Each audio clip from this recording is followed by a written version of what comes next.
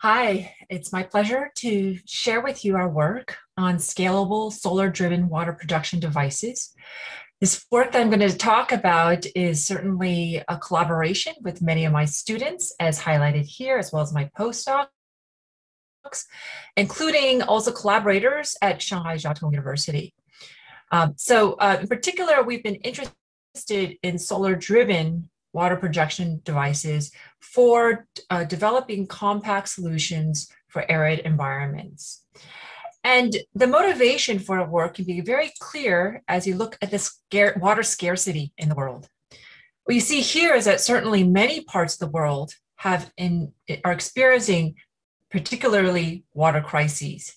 And there are many parts of the world that in fact have months, actually almost the whole year, by which there is no water available for access.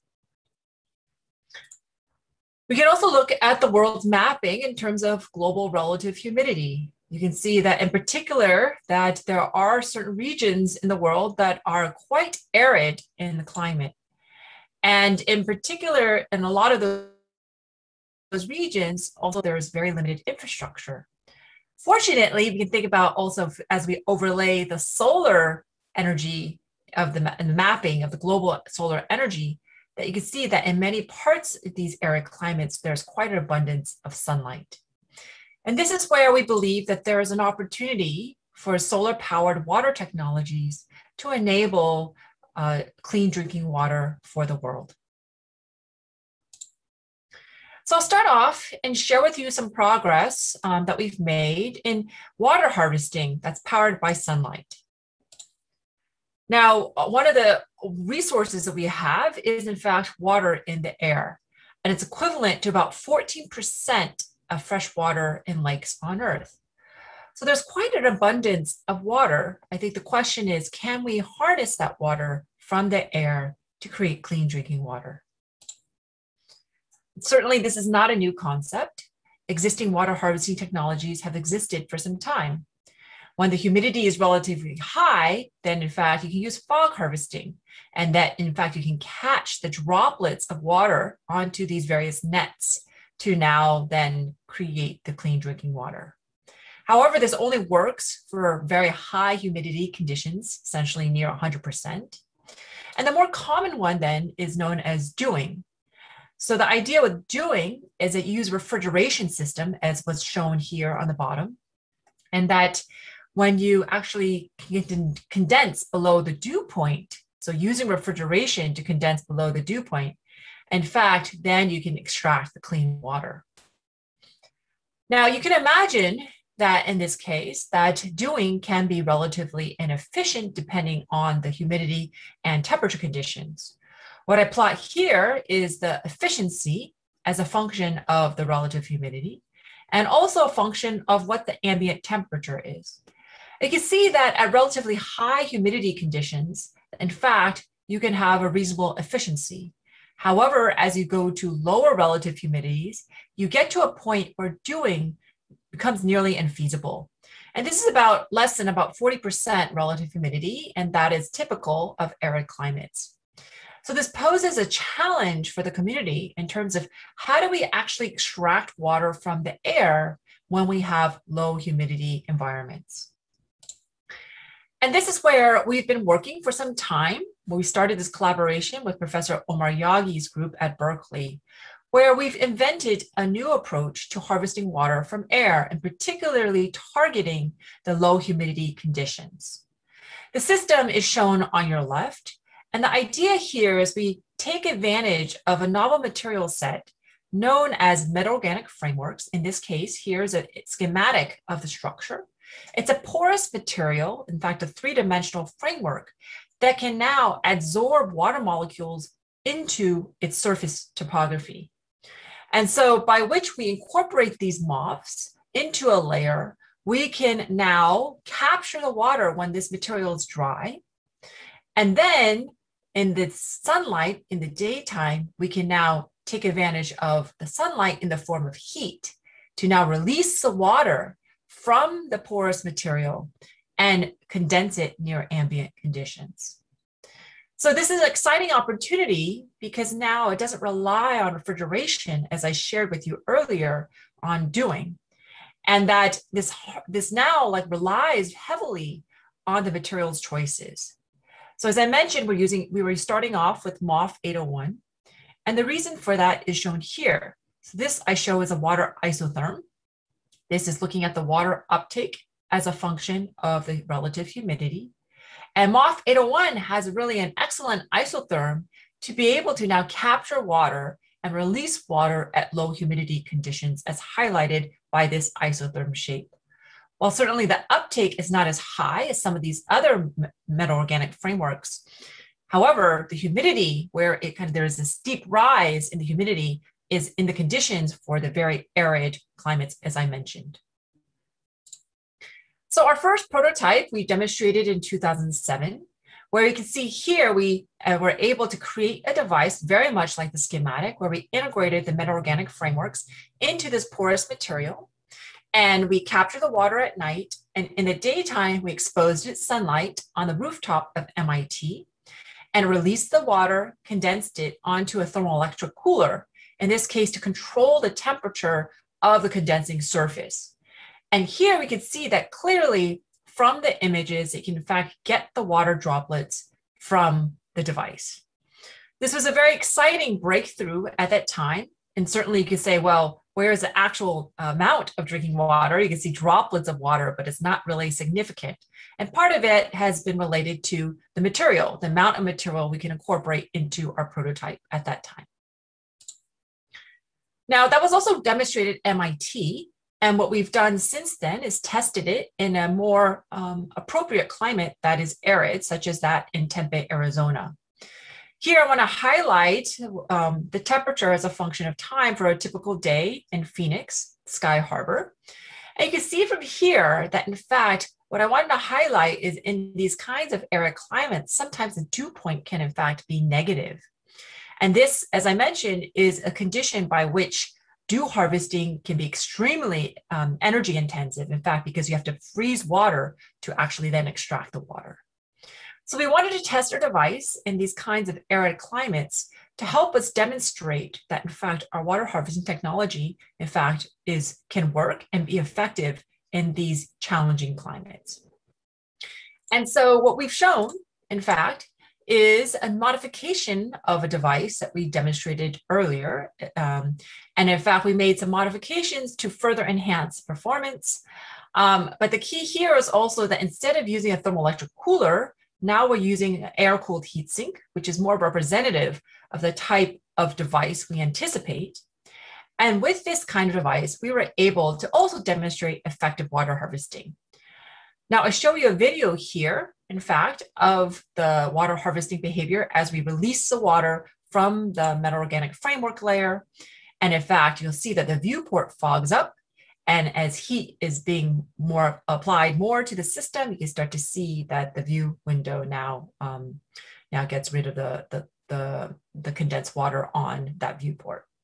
And again, you can see that there are nice water droplets that form that suggest that this kind of a technology works. Of course, the challenge has been scalability um, to demonstrate actually a larger quantity of water. And this is where we've been working on for the past couple of years now, is working towards developing water harvesting at larger scales. And that's what I'll show you here in our recent work, in that we've developed a new concept. This is more focused on the actual design of the water harvesting system. And what we've proposed, in fact, instead of using a single layer, as I showed previously, is a multi-stage concept. The idea is having two layers of adsorbent for exposed sunlight to the top layer. And in fact, we can now take advantage of the condensation heat that and recycle that latent heat of condensation to drive desorption from a subsequent layer. And through this process, we can, in fact, demonstrate increased daily, daily productivity, which is captured by how many liters of water over the area per day. And in fact, also higher efficiencies compared to that of a single stage. Also, in addition to this, because we're using this kind of infrastructure, we needed to now explore other materials that are more scalable. And so we've been looking at zeolites that are commercially available such that we can actually extract a reasonable quantity of water. The material that we're using, as I mentioned, is a zeolite known as AQSOA Z01. It's commercially available in large quantities. In addition to that, um, it has an isotherm, is shown here. And you can see here that it's really good also at reasonably low humidity conditions. We have low regeneration temperatures. And further, what's really critical in the design of these kinds of systems is um, the material's kinetics in terms of the rates by which we can actually capture and release the water from the material. So we've been able to now characterize material properties, including the isotherm, the crystal size, absorption enthalpy, and the diffusion coefficients, um, put them into models that help us now optimize device design. And so that's what we'll show you in the results for the next few slides.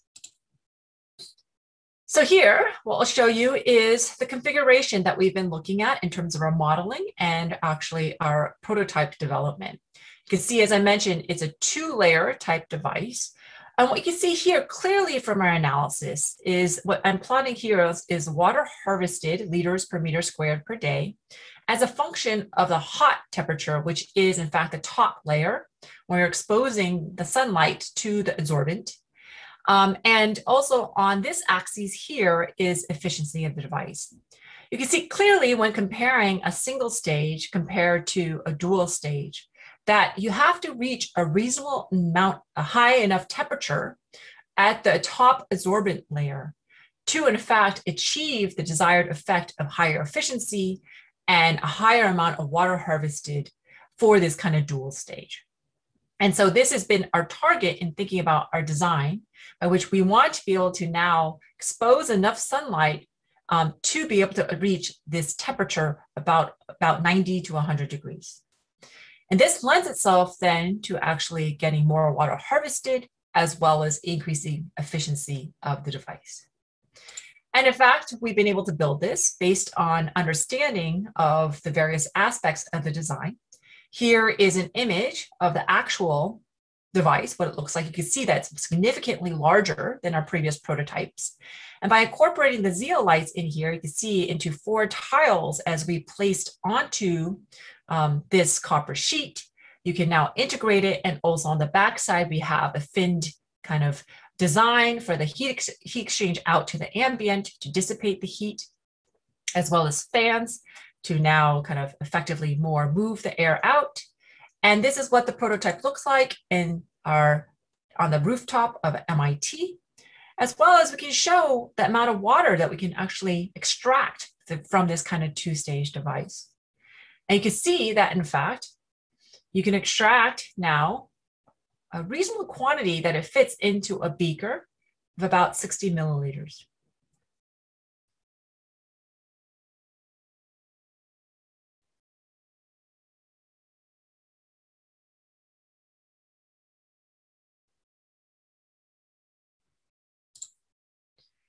We can also also look at the temperature as a function of time and also looking at the solar flux here onto the right. You can see here that the solar flux is a kind of what it looks like over the kind of the day. And uh, in fact, you can look at the temperature of the solar absorber, the top absorbent, the bottom absorbent, as well as the top condenser and the bottom condenser and the ambient conditions. One thing to highlight is because of the larger scale device, there is in fact a capacitance of the system that now kind of slows down the response time of the overall device. And that's something to consider as we think about designing these devices. However, what we look at the water harvested as a function of time, in fact, you can see that the results from a um, kind of a dual stage device are pretty promising. In fact, what you see here, the total is highlighted in blue. And the top layer, the amount of water extracted from the top layer is in red. And the amount extracted from the bottom layer is that in green. And you can see that, in fact, that we've been able to extract about points, almost 0.8 liters per meter squared per day. That's about twice the productivity of a single stage.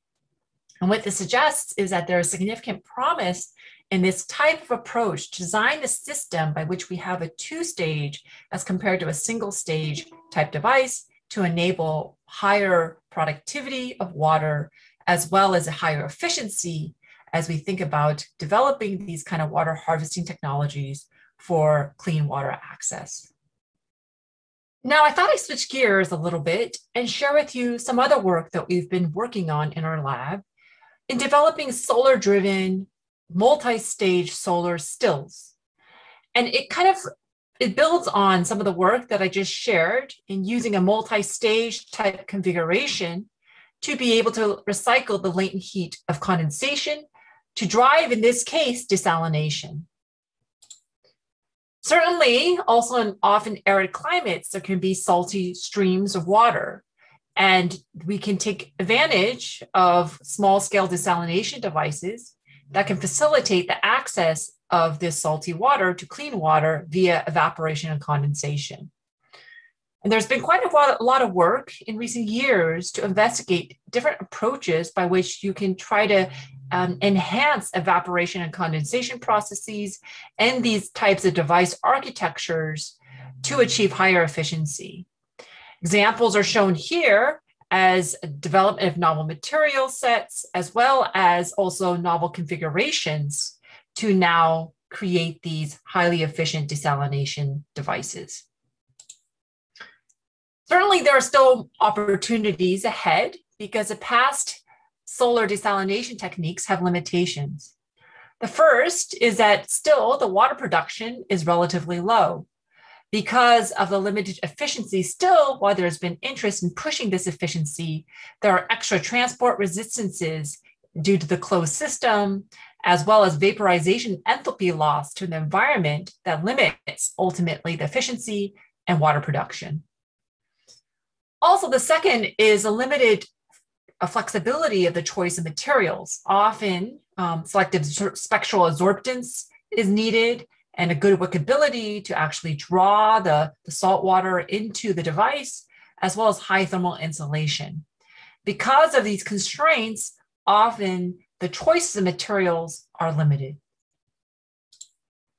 So what we proposed is a multi-stage configuration that has we call thermally localized multi-stage desalination.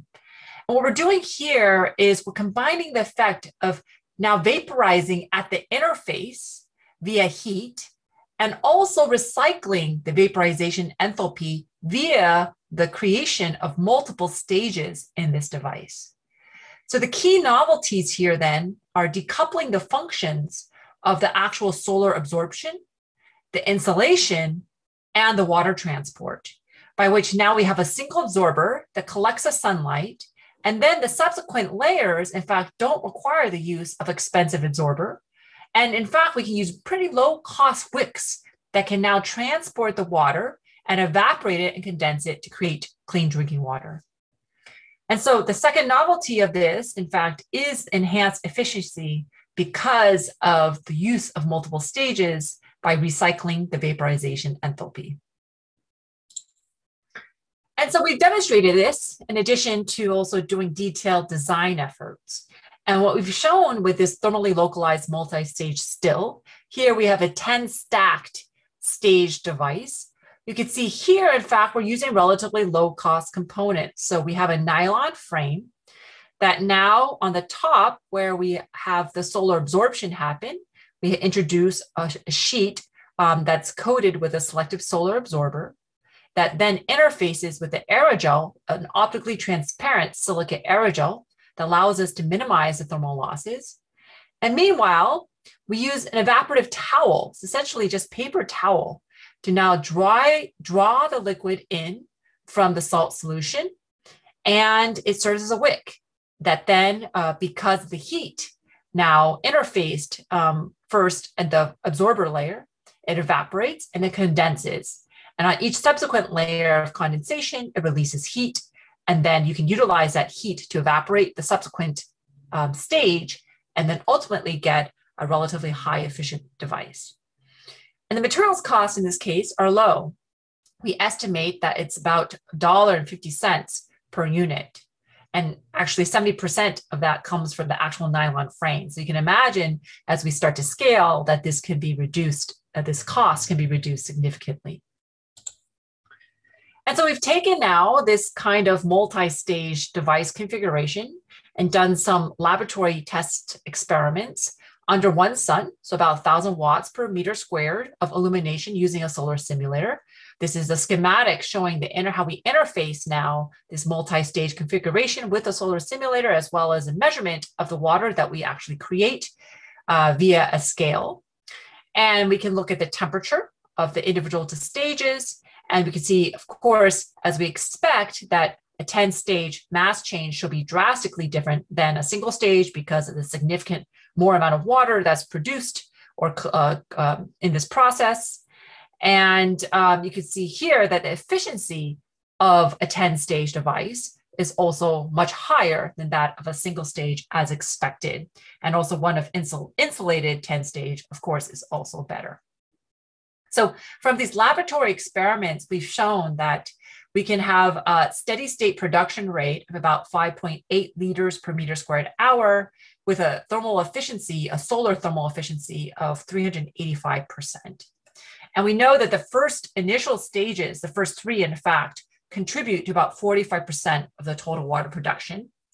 And um, the results of this multi-stage using this 10-stage design gives us about a five-time improvement compared to that of a single stage design. So when we look at the analysis and kind of compare it to what has been done in the past, you can see by being able to now kind of utilize the components we shared, as well as also the multi-stage type design, our efficiencies can be greatly enhanced in, in addition to the production rates as well. And so this is a really exciting result in thinking about these low cost um, compact desalination units of course, we wanted to also demonstrate this um, uh, capability out in outdoor conditions, which is more relevant to um, the realistic situation. And so we placed this uh, device that we've created on the rooftop of MIT again. And you can see the water collection rate as a function of time, as well as from the solar flux from the sunlight. And over this duration, about five hours, we were able to collect about 70 milliliters of water um, with the record high pro average productivity of about 2.6 liters per kilowatt per hour. So we are very excited about the opportunities ahead with this kind of multi-stage still technology that can enable now another approach to now deliver clean drinking water. So to summarize, um, we've demonstrated now two different approaches, one of which we take advantage of water harvesting from air, as well as desalination using sunlight as a means to now create clean drinking water. We think there's certainly many opportunities ahead. And um, with that, I'd like to close and thank you all for your attention and also acknowledge all the tremendous funding as well as collaborators we've had to be able to execute, as well as my tremendous students and postdocs that really have done all the work. So thank you very much and I'm happy to take any questions.